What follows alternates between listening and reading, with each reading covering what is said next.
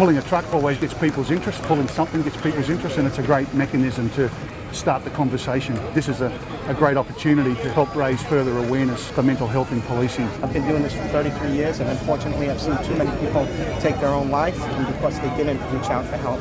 And it's programs like what Grant is trying to bring forward is going to help, you know, save lives.